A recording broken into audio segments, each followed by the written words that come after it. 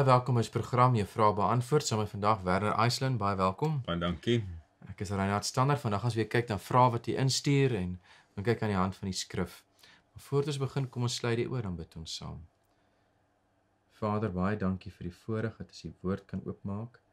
Here, ons kan dit op ons eie verrig of op ons eie antwoorde vind nie. Ons kan net doen deur u leiding, deur die krag van die Heilige Gees. Ons vra dat nou dat U ons sal lei, dat U vir ons sal rig in die woord. Ons bid dit in Jesus se naam. Amen. Amen.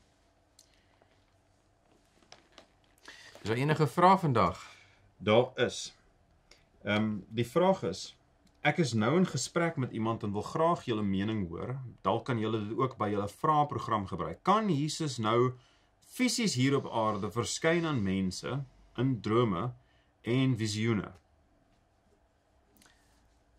Daar's 'n laat ek dit so daar's maar daar's twee vrae eintlik. Ja ja, daar die, die, die vraag is eintlik tegnies nie korrek nie. Want die vraag vra kan Jesus fisies verskyn en dan sê dit visioene en drome.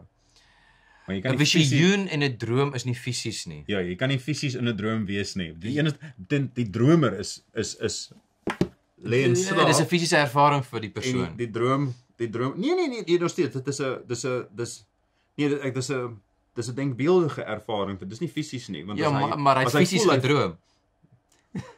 ja, maar as hy as hy droom hy val, het hy nie fisies geval nie. Nee, hy het nie fisies geval nie, maar dit is vir hom 'n werklike ervaring al was dit werklik vir hom. Ja, jy word net wakker as jy van die bed af Maar as, as jy 'n droom van God kry, is dit werklik.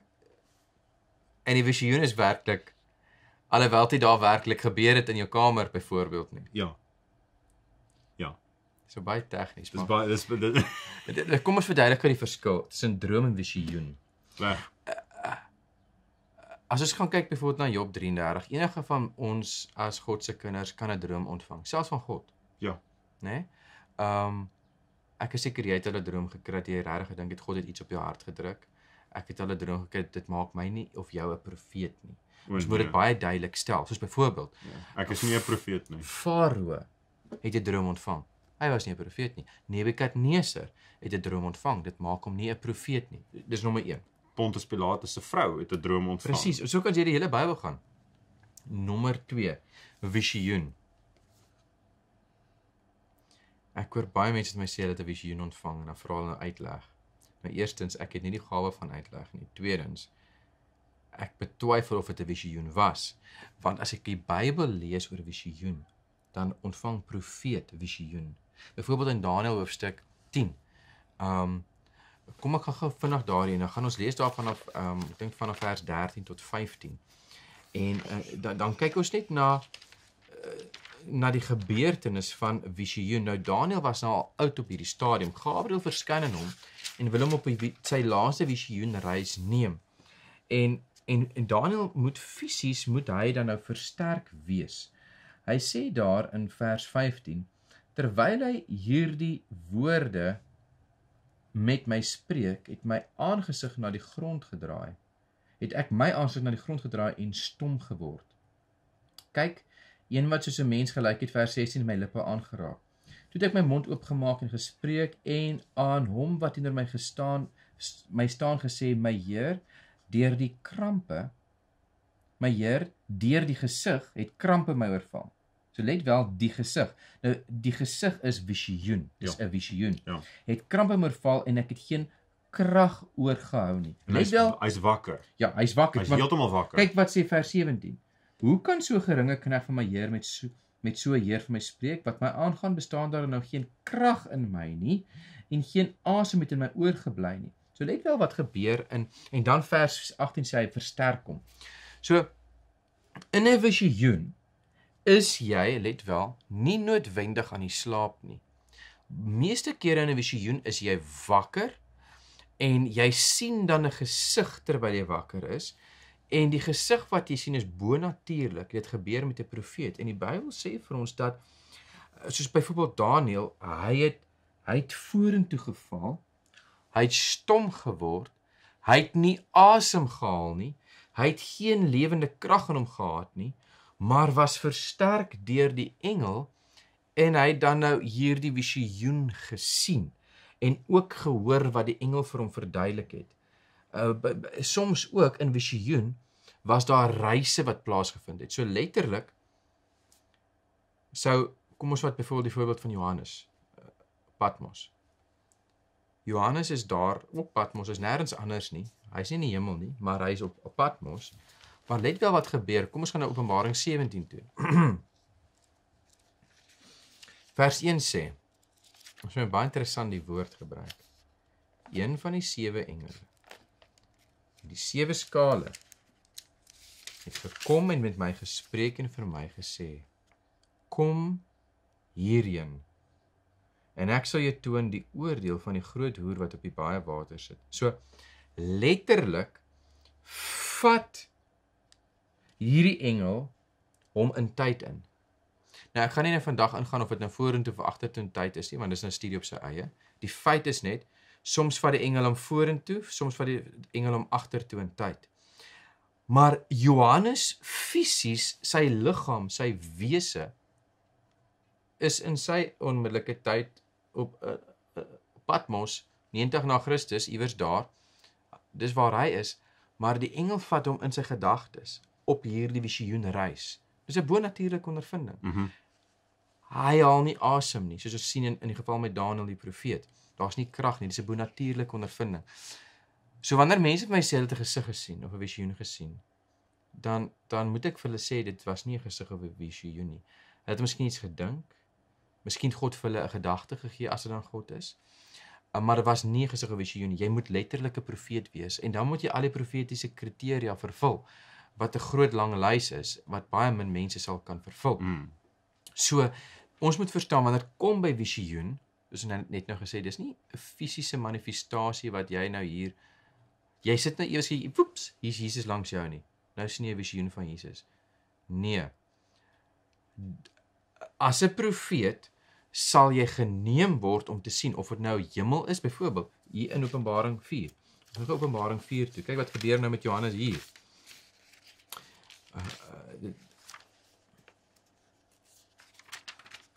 Maar interessant die woorde, né? Mm. Hy het nou nou gesê kom hierheen, né? In in in Openbaring 17. Kyk Ja. wat sy woorde gebruik hy hier. Na hierdie dinge vers 1 hoofstuk 4 het ek gesien en kyk 'n geopende deur in die hemel. En die eerste stem wat ek soos 'n bassein met my hoor spreek het, het gesê: "Kom op hierheen." Dis nou Jesus self. En ek sal jou toon wat na hierdie dinge moet gebeur. Let wel, Johannes is op Patmos, is nêrens anders nie. God vat hom nie fisies in die hemel nie. Hoe weet ek dit? Want 1 Korintiërs 15 vanaf vers 5 tot 53 sê vlees en bloed kan nie in die koninkryk van God gaan nie. Soos ons nou is. En en hy sê daar moet eers 'n verandering wees, maar dis eers by die opstanding. Nou Johannes was nog nie by die opstanding nie. Dit dit is nog dis nog toekomstig. So letterlik fisies was hy nie in die hemel nie. Maar hierdie gebeur bonatuurlik in 'n visioen in gesig. En en Jesus sê kom op hierheen. En hy vat hom dan op hierdie visioen reis op in die hemel. Dit is die engel om vorentoe of agter te vat in tyd om vir hom hierdie profetiese gebeure te te te wys wat hy dan nou neerpen. Dis visioen. Nou die vraag is kan Jesus fisies verskyn in visioen of droom? Die antwoord is is dat ons kan dit nie so beskou nie. Kom ons vra die vraag anders. Kan Jesus verskyn in 'n visioen of in 'n droom? Ja. Ja. Byvoorbeeld, Ja. jy kan byvoorbeeld vanaand droom oor Jesus, né? Nee? Nou dit gaan jy gaan dit gaan nie noodwendig wees jy kan nie terugkom en vir ons sê, weet jy wat, ek het ge, ek het gedroom van Jesus en ek weet nou presies hoe hy lyk nie. Nee, jy kan jouself droom van Jesus of God kan vir jou droom gee oor Jesus, maar dit maak nie 'n profeet nie. Tweedens, iemand wat 'n profeet is, kan 'n visioen hê waar Christus met hulle praat of hulle hemel toe vat ensovoorts, maar dis let wel 'n profeet, maar dis nie fisies nie. Dit is dit is hierdie visioen geestelike reis. Mhm. Mm Maar nou moet ons die vraag ook andersom vra. Kan Jesus hier op aarde fisies nou verskyn? Tussen sy eerste en sy tweede koms.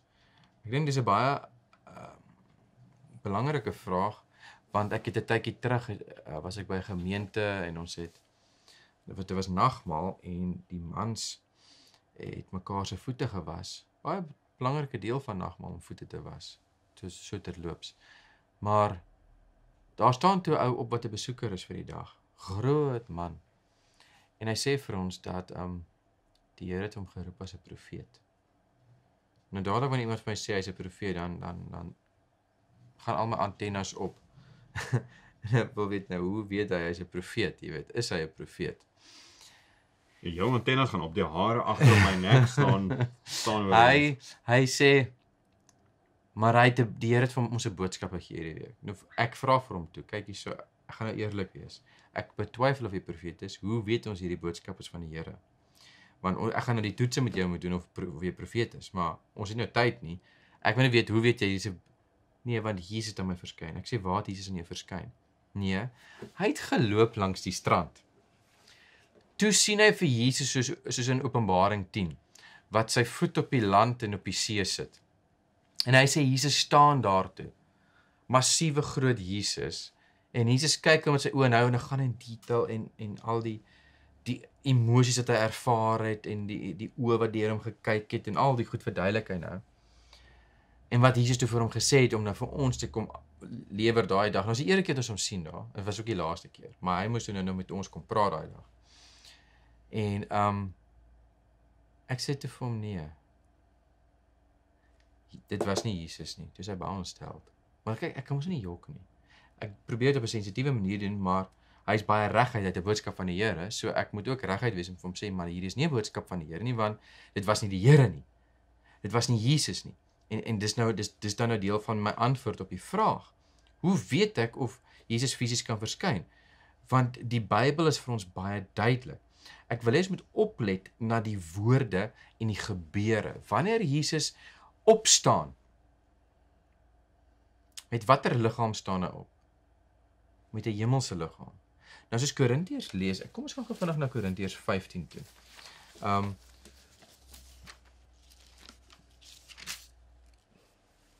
Korintiërs 15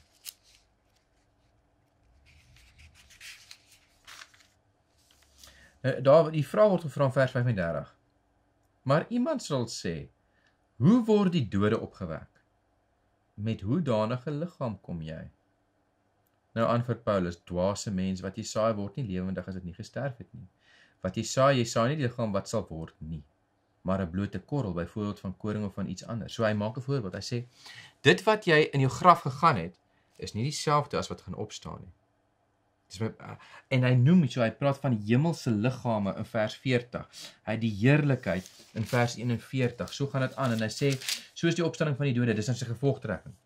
Vers 42. Daar word gesaai in verganklikheid, daar word opgewek in onverganklikheid. Daar word gesaai in oneer, daar word opgewek in heerlikheid. Daar word gesaai in swakheid, daar word opgewek in krag. 'n Natuurlike liggaam word gesaai, 'n geestelike liggaam word opgewek. Daar is 'n natuurlike liggaam en daar is 'n geestelike liggaam. En let wel dan nou hier, toe Jesus opstaan. Onthou jy die geval toe hy daar deur die muur loop en by sy disippels aankom. Hmm. Nou, hoe kan vlees en bloed in ons natuur ons nou beleef? Kan jy deur 'n muur loop? Ek poel, nie sonder geweldige pyn nie.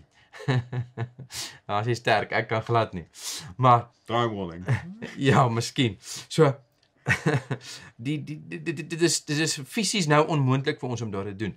Dit sê nie dat ons nie 'n 'n 'n nie liggaam gaan hê. Ons gaan 'n liggaam hê, maar dit is 'n geestelike liggaam. Dis 'n meer hemelse verheerlikte liggaam as ek dit amper daai woorde kan gebruik. So dis wat Jesus toe gehad het toe hy opgestaan het, né? Nee? Maar nou is die vraag. Jesus sit daar in die met sy disippels, hulle eet. Onthou jy toe hy brood gebreek het en alles en hy eet fisies die kos. Ja. Hulle kan fisies hulle vingers deur sy gate steek. Hulle sien sy hande. Selfs vir Thomas sê hy kom steek dit hier in. Hy sê ek is mens. Ja. Maar let wel watter mens is hy. Hy's 'n verheerlikte geestelike liggaam mens. Maar let wel hy's nog mens. En dis wat baie Christene uit die oog verloor. Toe Jesus uit die godheid uitgekom het, seun van God aarde toe om mens te word, die inkarnasie, het hy mens geword vir ewig. Ek moenie vers lees in Hebreërs hoofstuk 2. Dit laat ek nie my woorde hier gebruik nie, dat ek die Bybelse woorde gebruik. Anders te gaan mense begin dink ek sê dit met duim uit.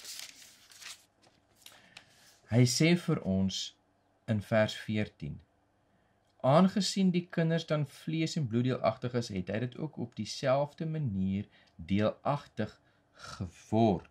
Kyk wat sê vers 17. Daarom moes hy in alle opsigte aan sy broeders gelyk word sodat hy 'n barmhartige, getroue hoofpriester kon wees in die dinge wat in betrekking tot God staan om die sondes van die volk te versoen. Dan gaan lees hy hoofstuk 1 Ek gaan lees. Hy praat daaroor die engele, hy praat oor die mens wat die mens bedank, maar eintlik verwys na Christus wat dan nou mens geword het. En die vraag is dan nou, toe Jesus opstaan, het hy iets anders geword as nee. Hy het vir ewig mens geword en jy gaan kyk deur die hele boek Hebreërs, hy het opgevaar hy's mens. Hy is die seun van die mens nog nog steeds. Hy sit aan die regterkant van God, hy tree vir ons in, want hy is nou ons groot broer in die hemel en hy weet waartoe ons gaan. Hy kan 'n barmhartige getroue hoofpriester wees want hy is 'n mens. Hy het 'n hart wat nou klop, hy het bloed wat deur sy are vloei. Ja, dis dit is 'n dit is 'n dit is 'n meer verhewe tipe liggaam, maar nog steeds liggaam, nog steeds mens. En dan kom die woorde van Jesus ek wil net eers met alles bymekaar sit. In Matteus hoofstuk 24 het Jesus verskillende waarskuwings wat hy rig in terme van die laaste dae. Nou let wel wat Jesus sê. Ek ek ek, ek wil net hierdie verskillende woorde lees en dan moet ons hulle almal bymekaar sê. Hy sê daar van vers 4 uh, eh, kom ons van vers 23. As iemand van julle sê kyk hier is die Christus of daar, moet dit nie glo nie. Ek sê vir daai broer die dag, broeder, Jy sê hier was Jesus. Maar my Bybel sê Jesus het gesê as hy as jy sê daar is Jesus, moet dit nie glo nie. Want daar sal valse Christus en valse profete opstaan. Hulle sal groot tekens en wonders doen om as dit moontlik was ook die uitverkorenes te mislei.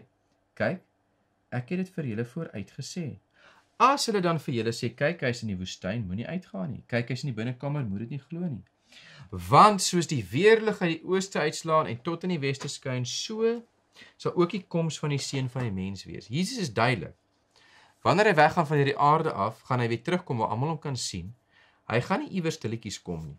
Nee, nie tussentyd nie. Kom ons gaan gou na Matteus 26 doen. Dis net interessant. Ons gaan hierdie verskillende woorde bymekaar sit. Hy sê vers 29. Ek sê vir julle ek sal van nou af nooit meer van hierdie vrug van die wynstok drink nie tot op daardie dag wanneer ek dit met julle nuut sal drink in die koninkryk van my Vader. Derhalwe, hy moet nog steeds daartoe in staat wees om fisiese voedsel te kan inneem. Presies wat jy daar sê, maar ook hy gaan dit in die tussentyd kom doen. Dan Handelinge 1. En en dis vir my, dis vir my die die kern hiervan. Dis Christus se belofte. Ek lees hoofstuk 1 van vers 7. Hy antwoord hulle: Dit kom julle nie toe om die tye of geleenthede te weet wat die Vader deur sy eie mag bepaal het nie. Maar julle sal krag ontvang wanneer die Heilige Gees oor julle kom. Julle sal my getuies wees in Jerusalem sowel as in die hele Judea en Samaria en tot in die uiterstes van die aarde. Kom ek stop stop gou daar. Nou hierdie verwys direk na Johannes 14 tot 16 waar hy oor en oor gepraat het van die Heilige Gees die trooster wat hy gaan stuur in sy plek. Want hy gaan ons nie as wese agterlaat nie, want terwyl hy weg is, dan is die trooster daar. En let wel hoe begin hoofstuk 14. Hy sê jy moenie bekommerd wees nie. In my huis my vader se baie wonings, né? As die was hy sou ek vir gesê gaan plek te berei as ek gegaan het gaan ek hy gaan ek gaan weer kom. As ek klaar is, gaan ek dan weer kom. Nie hy gaan tussen deur aan mense verskyn nie. Hy is daar. Kom ek stel dit so. Toe Jesus Christus mens geword het, het hy sy alomteenwoordigheid prys gegee. Mhm. Mm hy is hier saam met ons deur die Heilige Gees, maar hy kan nie hier fisies wees nie. Waar hy nou fisies is, is in die hemel om vir ons in te tree en die verlossingswerk te volëindig. Dis hoekom hy sê, hy sê vir ons in vers 9, nadat hy gesê het, is hy opgeneem terwyl dit sien en 'n wolk het hom voor hulle oë weggeneem. En toe hulle nog stip na die hemel kyk terwyl hy weggaan, staan daar twee manne in wit klere by hulle. Wat sê Galileese manne? Waarom staan julle kyk na die hemel? Hierdie Jesus wat van julle opgeneem is in die hemel, sal net so kom soos julle hom na die hemel sien wegvaar het. Daar is nie iets tussenin nie. En dit is wat dis hoekom hy oor oor waarsku in in in in die evangelies oor die eindtyd misleiding. Want deel van die eindtyd misleiding gaan wees, o, daar's Jesus nou of hier is die Christus. Nee. Uh, hy is in die hemel besig om ons in te tree sy verlossingswerk. Hy het vir ons die Heilige Gees gegee om hom te verteenwoordig oral oor. Maar iemand kan nie sê hulle het nou vir Jesus gewaar of raak gesien of hy het aan hulle verskyn nie. Ja, net in 'n visioen, maar net vir 'n profeet. Uh, maar dit is nie fisies nie dan dit dit net as 'n vraag daaroor Handelinge 23 wanneer mense in Handelinge 23 lees dis nou aan die einde van 'n verskriklike hoofstuk vir vir Paulus. Mhm. Mm ehm um, vir diegene wat dit nou ken dis van Handelinge 21 22 is 'n groot drama wat in Paulus se lewe plaasvind. Dis dis dis dis spanningsvolle hoofstukke eintlik. Uh en hy's hy's geslaan en hy was verskriklik pak gekry aan die hand van die die, die van van die van die van die uh die skare. Ehm um, en dit is net die Romeinse soldate wat hom gered het. En in vers die hoofstuk 23 vers 10 dan sê dit en toe daar 'n groot twis ontstaan het en die owerste oor duisend gevrees dat Paulus deur hulle verskeur sou word, het hy die soldate bevel gegee om te gaan en om met geweld weg te neem onder hulle uit in die kamp te bring. En die volgende nag het die Here by hom gestaan en gesê: "Hou goeie moed, Paulus." want soos jy aangaande my in Jerusalem kragtig getuig het, so moet jy in Rome ook getuig. Presies. Paulus het visioene gehad. Jy kan duidelik sien in Korintiërs 2 Korintiërs 12, hy was opgerig in die derde hemel. Hy sê self Hy weet was dit in die liggaam en die gees, hy kan nie sê nie want so werklik was dit. En dit sou dit werklik was, maar dit was in die gees. Dis dieselfde met sy ervaring op die pad van Damaskus, Handelinge 9. Dit sê daar toe hy op sy reis naby Damaskus kom vers omstraal hom skielike lig van die hemel af en hy val op die grond. Hy hoor 'n stem wat vir hom sê Saul Saul waarom vervolg jy my? So was Jesus het Jesus langs sy perd geloop daar op die aarde? Nee. Hy sê wie is u Here. En die Here antwoord hom ek is Jesus wat jy vervolg. Dis 'n stem dis 'n lig wat uit die hemel uitkom na Paulus toe en en let wel wat interessant is Drie keer word hierdie verhaal vertel. Elke keer is 'n bietjie ander detail, maar die mense rondom, byvoorbeeld, hy sê so die manne wat saam met hom was op die pad vers 7, het spraakloos gestaan terwyl hulle wel die stem hoor, maar niemand sien nie.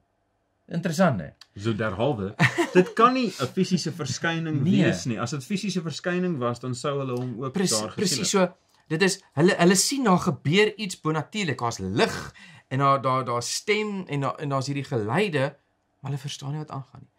Paulus het letterlik God het hom 'n visioen laat sien. Nê, nee, want gaan kyk na die ander na die ander ver, verhale van dieselfde verhaal, die ander weergawe is. En hy was toe blind, hy was verblind deur die lig. Hy moes letterlik moes hy genesing toe gaan ontvang deur Ananias wat sy hande op hom gelê het en toe kon hy sien, maar God wou spesifiek hom toon. Nou het hy geestelike visie gekry. Jy weet so, ehm um, dis dit vir my die die getuienis van die skrif is baie konsekwent en dis waarvoor waar, waar volgens ons moet bly. En ja, ek weet daar's baie verhale, daar's baie mense wat baie dinge sê dat Jesus was by hulle. Ek ek gaan nie daarteen as maar dit sou nie fisies wees nie. Byvoorbeeld daar's mense in in in kommunistiese lande met verhale in tronke ensovoorts. Dit sê was of 'n droom, miskien 'n visioen, weet nie, maar nie fisies nie dit dit sou in dit sou soos hierdie gebeurtenis gewees het waar dit meer in in 'n geestelike realm was. Um maar Jesus kan nie fisies hier want hier is die probleem. Die oomblik ons sê o nee hy kan dan is ek ook oop vir die misleiding waar die Bybel sê dat Satan gaan verander in 'n engel van die lig en hy gaan 'n manifestasie op die aarde van Christus uh, verskyn. Jy weet, ja. so dan is ek oop vir daai misleiding wat nie moet wees nie. Daar's daar's twee skrifgedeeltes wat ek net die kykers se aandag op wil graag wil vestig met die en in 1 Tessalonisense 4. Hmm. Ons het so klaar gelees van die wederkoms, maar net weer op daai hmm. um vers vanaf vers 13. 1 Tessalonisense 4 vers 13. Hmm. Broeders, ek hmm. wil nie hê dat julle onkundig moet wees met betrekking tot die ontslapenis nie. Hmm sodat julle nie treur soos die ander wat geen hoop het nie. Want as ons glo dat Jesus gesterwe en opgestaan het, dan sal God ook so die wat in Jesus ontslaap het saam met hom bring want dit sê vir ons dit sê ons vir julle deur die woord van die Here dat ons wat in die lewe oorbly tot by die wederkoms van die Here die ontslapenis hoegenaamd nie sal voorwees nie. So al daai skep konteks vir dit wat ek nou wil oordra. Sure. Want die Here self sal van die hemel neerdal met 'n geroep. Hmm. Met die stem van 'n aardsengel met geklank van die basuin van God en die wat in Christus gesterf het sal eers opstaan. Daarna sal ons wat in die lewe oorbly saam met hulle in wolke weggevoer word die Here tegemoet in die lug, let wel, die Here tegemoet in die lug. So die Here gaan nie sy voete op die aarde neersit as ek hierdie lees. Dis wat ek lees daaruit. Die Here sit nie sy voete op die aarde neer voor dat die nuwe Jerusalem nie neerdal en dit is dan 'n stuk wat uit uit uit Openbaring uitkom. So sal ons altyd by die Here wees. Bemoedig mekaar dan met hierdie woorde. Paulus skryf hierdie vir die Tessalonisense met die doel vir oë om vir hulle duidelik te stel hoe dit in mekaar steek. Nou wil ek 'n ander skrifgedeelte lees hierso wat saam met daai ding gaan. Deuteronomium 29:29. Hierdie is een van my gunsteling skrifgedeeltes Ja, want dit maak dit vir absoluut. dit maak dit vir 'n eenvoudige ou soos ek makliker om te verstaan. So as enigiemand anders daar buitekant voel dat hulle nie altyd verstaan nie, mag hierdie vir julle tot hulp wees. Absoluut. Die verborgde dinge is vir die Here ons God. Maar die geopenbaarde dinge is vir ons en ons kinders tot in ewigheid om te doen al die woorde van hierdie wet. Nou hierdie het Moses geskryf onder inspirasie met die oog op al die instruksies met die seëninge en die vloeke wat voorgehou was in Deuteronomium 28. Maar daar's 'n beginsel wat ons daaruit kan kry. Die geopenbaarde dinge, as die Here wil hê ons moet 'n ding weet, dan sal hy dit vir ons sê. Hmm. As daar dinge is wat verborge is wat ons nie hoef te verstaan nie, dan gaan ons dit nie nou verstaan nie, want ek verstaan nie heeltemal van hoe werk al die goeters noodwendigerwys nie van maar die was was was Jesus dan daar by Paulus gewees is dat wat is hy besig om te eet terwyl hy in die hemel is as hy 'n fisiese liggaam het sulke tipe goeters. Daar ek weet nie om daai vraag te beantwoord nie. Ek weet nie. Maar wat ek wel weet is dat daar's baie ander dinge wat ook ten opsigte van die verhouding van die drie eenigheid byvoorbeeld Presies. van hoe dit met Ja, ja, tussen nee. mekaar werk. Ek verstaan dit nie en die Here het dit nie geopenbaar nie en ek Absoluut. hoef dit nie te verstaan nie. Presies. Daar's sommige dinge wat ek net moet aanvaar. Okay, my brein is Hmm. Taamlik beperk. As jy vir sommige mense sal sê, dan sal hulle sê Werner, jou brein is nie taamlik beperk nie. Dis dis taamlik baie beperk. Meer as ek's meer as bereid om dit te aanvaar. Die Here het vir ons gesê hy kom terug soos wat ons hom gesien het. Hy kom terug op die wolke. Hy kom neer met die geroep van die aartsengel en ons sal dan hom tegemoet gaan Hmm. in die wolke en dan sal ons altyd by die Here wees. En die belangrike gedeelte daarby daai is dat ons sal altyd by die Here wees. Ons moet op hom vertrou en op hom staat maak en ons moet dan Matteus 24 moet ons nie mislei word nie. Want Ja. as daar nog ooit 'n boek is Hmm. wat dit baie duidelik stel dat ons moet nie enigstens dan in in in in in uh, van die van die bus afval nie. Dan is dit Matteus 24 want en ek gaan nou ek gaan net gou hierso afstap hierso van dit wat ons in die Bybel lees en net vinnig noem van 'n ding wat gebeur het nou onlangs. Ja. Ek dink dit is nou dis omtrent 'n maand terug wat ek dit raak gelees het. Dit mag wees dat dit nou vroeër gebeur het.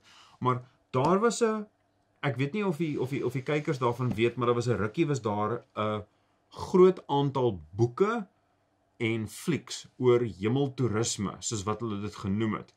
En die een se naam was um Heaven is Surreal en daar is 'n ander een hierso wat ek ek kan nie sy naam onthou nie, maar dit het gegaan oor 'n seun wat die ervaring Seentjie, ja. gehad het wat hy eintlik hy was dood vir 'n sekere hoeveelheid tyd en toe die hemel vir hom oopgegaan en die Here het homself, Jesus Christus het self hom in openbaar en het gesprek gevoer en toe kom hy terug daarvan. En dit het baie mense, ek meen dit was 'n groot fliek. Dit was dit was dit was groot naam akteurs wat ook daarin gespeel het. Daai seun het homself heeltemal gedistansieer van die fliek. Heeltemal. Hy het gesê, "Oké okay, ouens, wag, dit is nie heeltemal soos wat dit dis nie soos wat dit gebeur het nie." Hy het nie die goeters daai goedse wat daar is, dit nie gesê nie. En ehm um, die punt wat ek hierby probeer maak, daar's baie mense wat daardeur opgesweep is en hulle Mhm. gedagtes het hulle gekry. Maar die persoon oor wie die fliek gegaan het, het gesê, "Wag, wag, wag, dis nie so nie." Hoekom die fliek eers gemaak was en daarna het hy homself daarvan gedistansieer, dit weet ek nie, maar dit is een van daai goeters weer, is dit daai is nie aan my geopenbaar nie. Hmm. En dit dis dis sy saak, dit gaan my nie aan nie.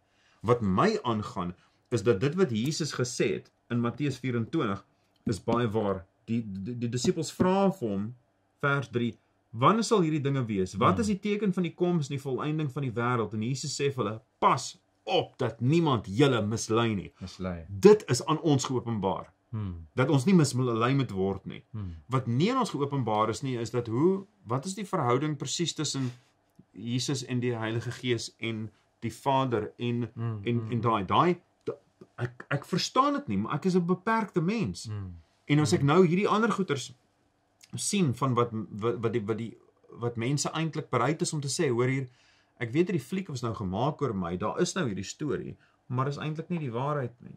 Dit is eintlik dis nie regtig hoe dit was nie, dan sê dit van aha, want dit wat die Here sê, dis waarheid. Hy het dit een keer gesê en dit bly, dit staan vir ewig. Sy woord staan vas. Die mens is 'n baie wispelturige ding.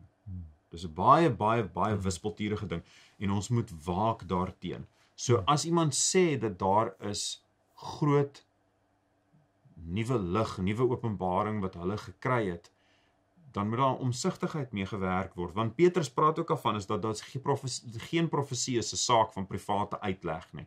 Jy kan nie self net gaan sê kap in 'n verskillende rigting en ek het die of daai of die volgende ding waargeneem nie. Ek moet dit toets aan die hand van die skrif, want die skrif is hoe die Here homself aan ons geopenbaar het. En as ons nie besig is om volgens die skrif te werk nie, hoe sê hoe sê Jesaja tot die wet en die getuienis? Absoluut. As hulle as dit 'n volk is wat nie volgens dit praat nie, dan Absoluut. dan sal groot moeilik tot die wet en die getuienis. En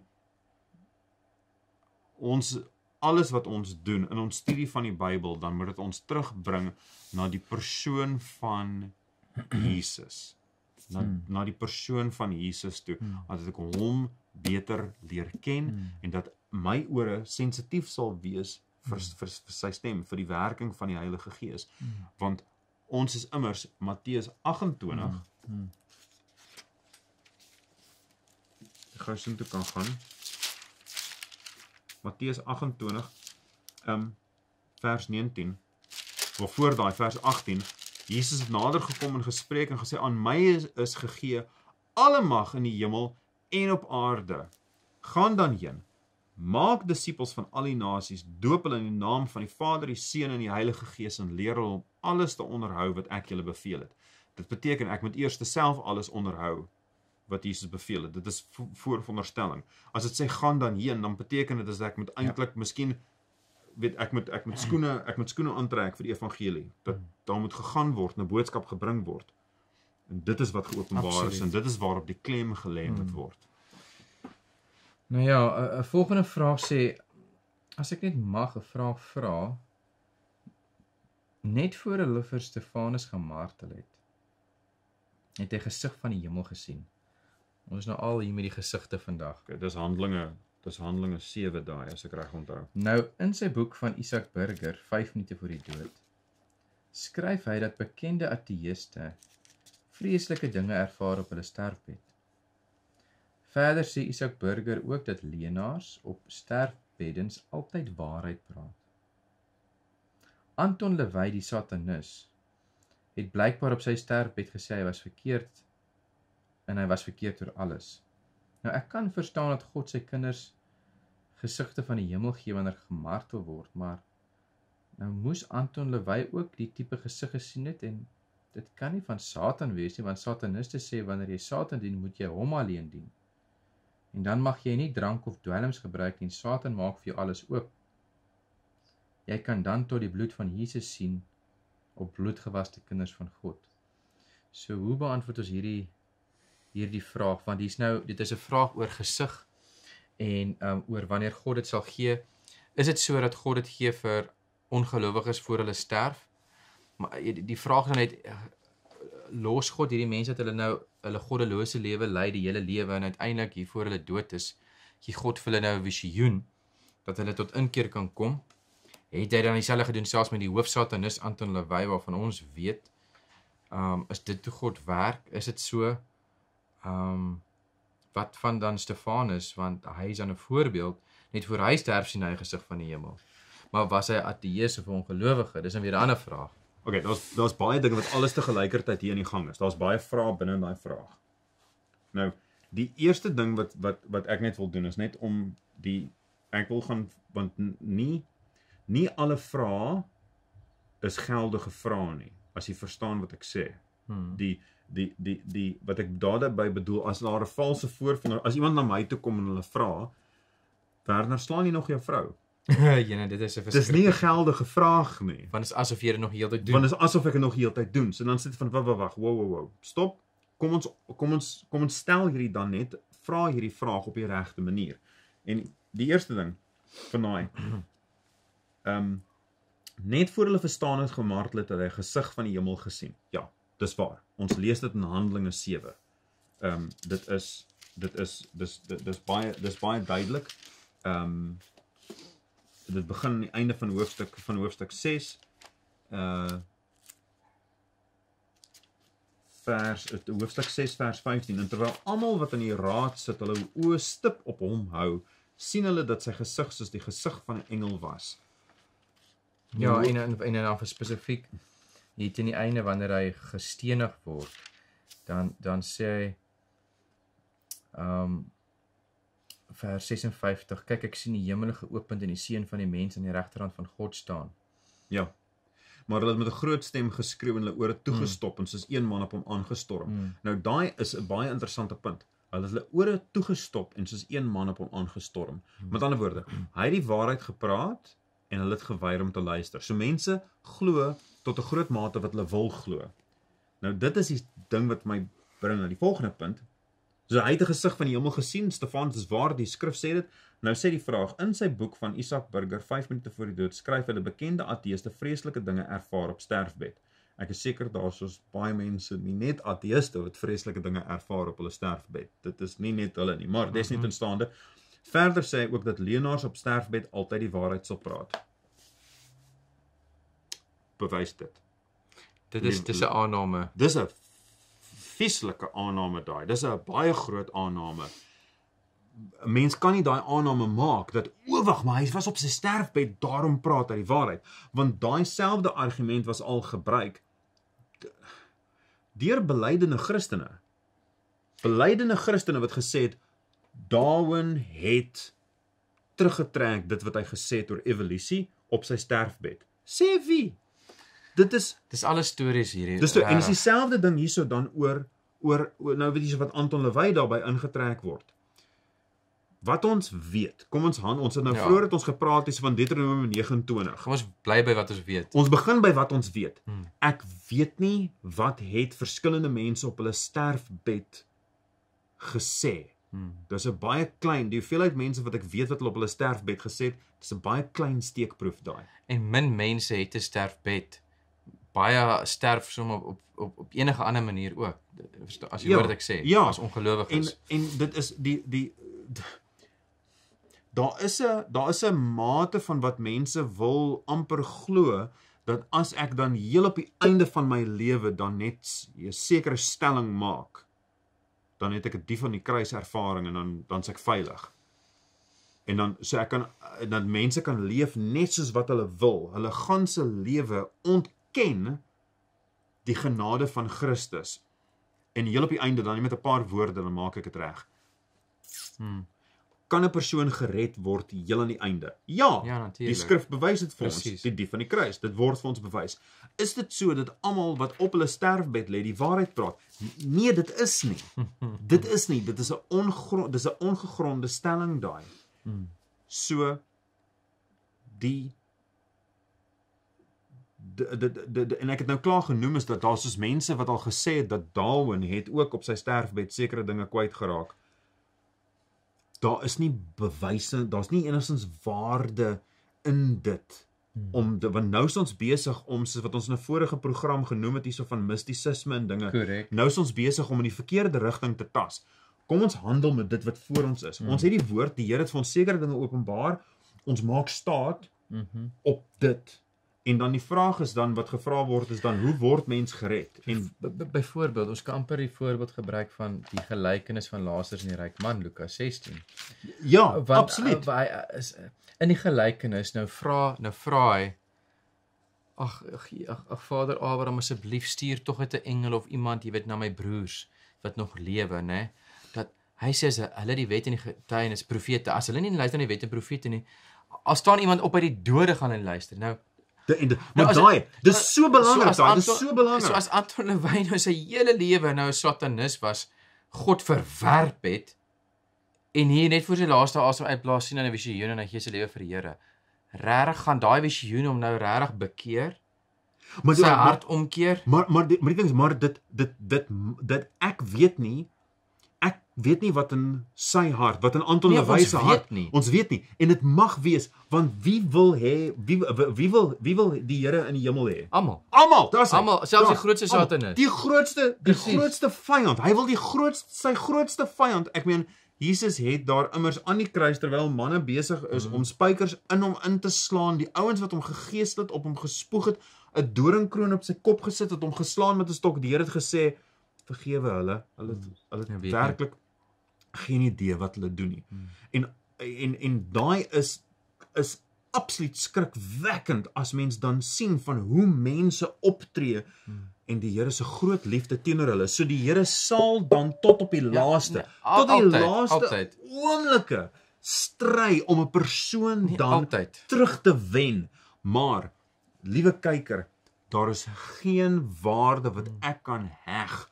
Daar's geen bewys wat ek kan kry van o so en so dit en dit gedoen daarom. Dan kan ek maar net sowel dieselfde op, op dieselfde manier, dan kan ek sê ja, die dominee het so gesê, so dan is dit reg. Ja, maar die voorveronderstelling is wat my 'n bietjie pla en dit is dat die voorveronderstelling sê dat as God genoeg van homself wys, sal hy sonder hom bekeer. Mm.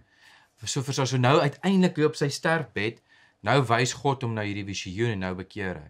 Dit is soos dis presies wat hy gesê het in daai gelykenis dat al staan iemand na die dood op, hulle gaan nog steeds nie luister as hulle nou al hierdie getuienis het nie. Right. En Kyk wat sê hy in in, in Romeine 10 vers 13. Want hierdie vers word baie aangehaal. Dit sê daar elkeen wat die naam van die Here aanroep sal gered word. Ja. En nou baie mense boer op daai vers, maar let wel. Hy sê in vers 9: As jy met jou mond die Here Jesus bely, Ja. met jou hart glo dat God hom uit die dood opgewek het, sal jy gered word, want met die hart glo ons tot geregtigheid en met die mond bely ons tot redding. So hier beteken hart, mond saam, ek aanvaar totaal. Ja. Jy weet so natuurlik is daar mense wat hulle sterfbeddens gered is Ja. al in die verlede, Ja. natuurlik. Ja. Ja. Maar ons moenie uit oog verloor dat God alles in sy vermoë doen deur ons lewe heen om ons te red. Ja, korrek. En dan te gelykertyd dan liewe kykers, moenie die fout maak om te dink dat dit beteken dat daar 'n 'n mens met 'n sekere hoeveelheid van goeie werke doen dan om 'n positiewe rekening te hê by die Here. Glad nie. Ons word gered deur genade, genade alleen en basta. Presies. Basta, dis klaar. Maar die die terug op die Mm. wat ons nou hier lees. Ons het nou net gesien daarso die met die hart glo ons tot geregtigheid, met die mond bely ons tot redding.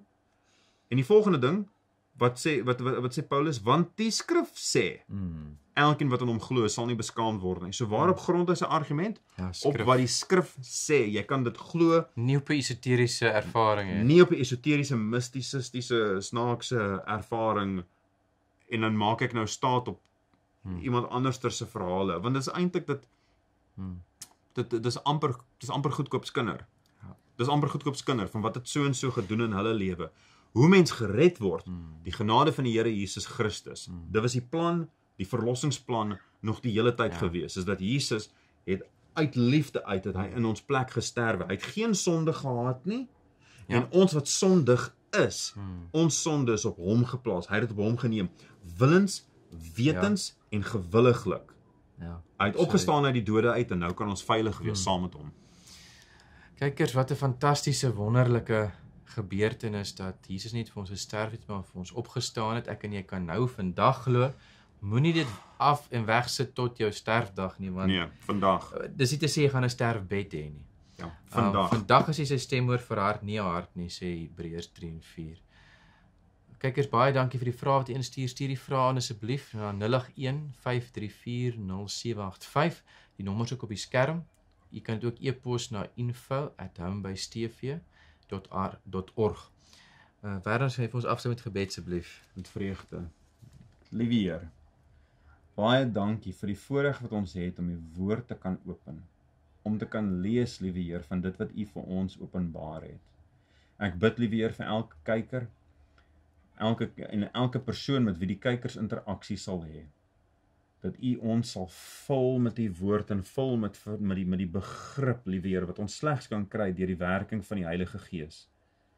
Dat ons harte verander sal word, liewe Heer, soos u dit wil hê. Dat ons goeie getuies sal wees, liewe Heer, hierdie ganse wêreld vol. Alles u naam ter ere. Ons kan werklik nie sonder u nie. In Jesus naam. Amen.